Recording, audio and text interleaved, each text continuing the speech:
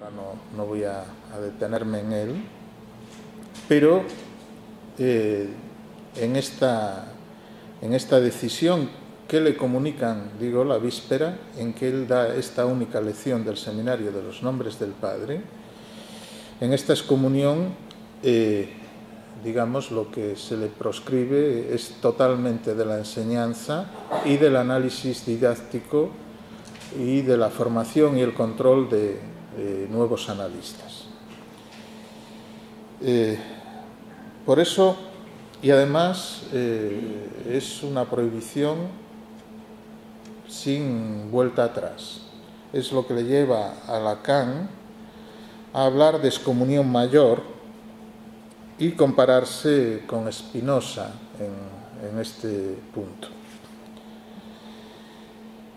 Entonces, en noviembre de 1963 da esta única lección del seminario sobre los nombres del Padre, se suspende, suspende su seminario y lo retoma en eh, la Escuela Normal Superior con el auxilio de Althusser en eh, enero de 1964, pero bajo eh, esta otra, este otro título, inicialmente Los Fundamentos del Psicoanálisis, que posteriormente eh, se transformó en los cuatro conceptos fundamentales del psicoanálisis sencillamente porque todo el mundo le llamaba así. Es decir, pasa del nombre del Padre a los conceptos.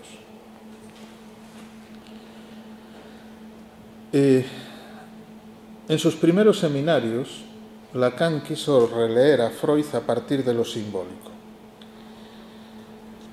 Es este el motivo por el que teoriza inicialmente el inconsciente como la insistencia y el retorno de los signos. Concepción que va a desmentir en este seminario. En la lección número 5 de este seminario, en la página 62, dice tasativamente, la repetición entonces no ha de confundirse con el retorno de los signos. Esta afirmación supone de algún modo un Lacan contra Lacan, porque en la carta robada o en el seminario 2 había hecho equivalente la compulsión a la repetición a la insistencia del significante es decir, del orden simbólico, constituyente del sujeto, y que concebía como una máquina automática. En realidad, en, estos primeros seminarios, lo que intentaba era eh, eh, fundar la repetición en un mecanismo simbólico puro por eso situaba el inconsciente, y es una cita textual del Seminario 2, como el discurso del otro. Y dice Lacan, este discurso del otro no es el discurso del otro abstracto, del otro de la díada, de mi correspondiente, ni siquiera simplemente de mi esclavo. Es el discurso del circuito en el cual estoy integrado. Soy uno de sus eslabones. Es el discurso de mi padre, por ejemplo, en tanto que mi padre ha cometido faltas que estoy absolutamente condenado a reproducir, lo que se llama superego.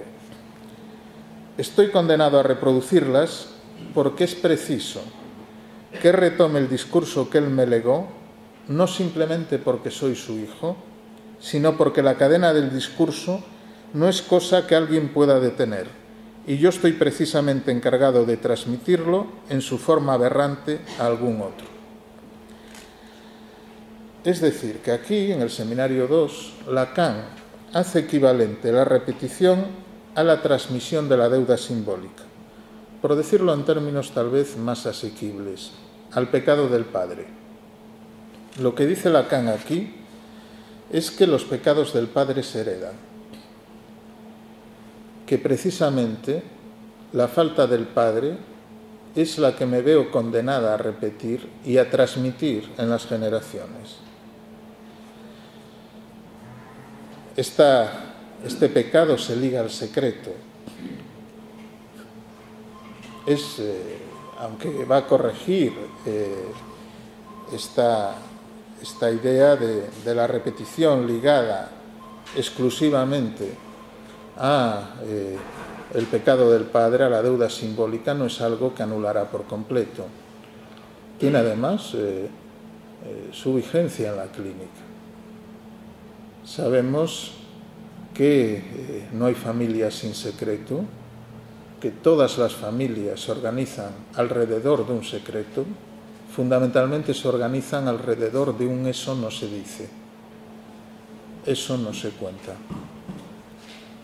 Eh, es ese tema que siempre se evita, que cuando peligrosamente la conversación, la cadena asociativa aproxima ese lugar, se rodea, se evita,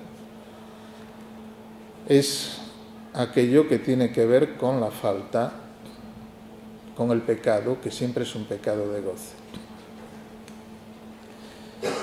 Eh, en este momento del seminario 2 que Lacan intenta ligar la repetición a un fenómeno automático, a un automatismo, a la insistencia de la cadena significante, por eso la liga a la falta simbólica.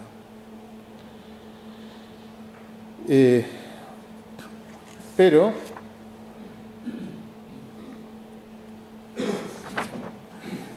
en el seminario 11, por el contrario, va a releer a Freud no tanto a partir de lo simbólico, sino de lo real, de la categoría de lo real, articulada a los cuatro conceptos de Freud.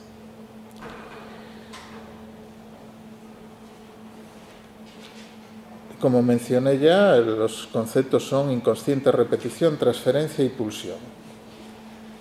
Pero en los cuatro conceptos está implicado el inconsciente.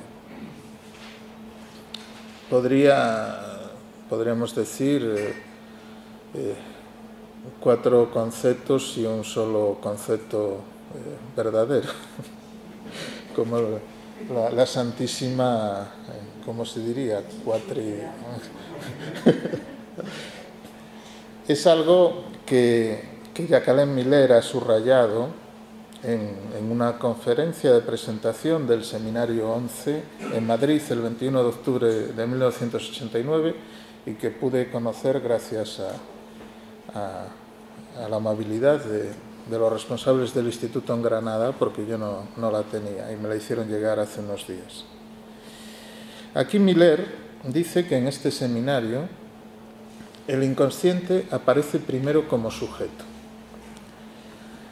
es decir, se le supone un sujeto a las formaciones del inconsciente, a las manifestaciones del inconsciente.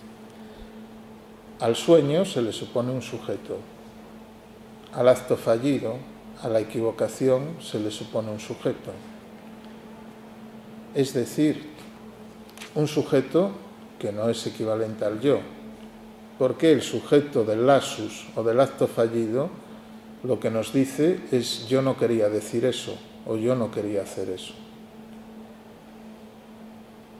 Eh, no, yo quería decir otra cosa. Sí, yo quería decir otra cosa, pero ello no es el yo.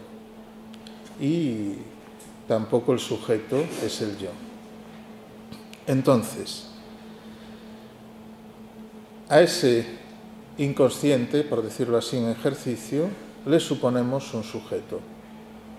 A ese inconsciente evanescente, tal como se presenta en el chiste, en el asus, en los actos fallidos, en los sueños, le suponemos un sujeto. Entonces, el inconsciente aparece en el seminario 11 primero como sujeto, por sus manifestaciones pulsátiles.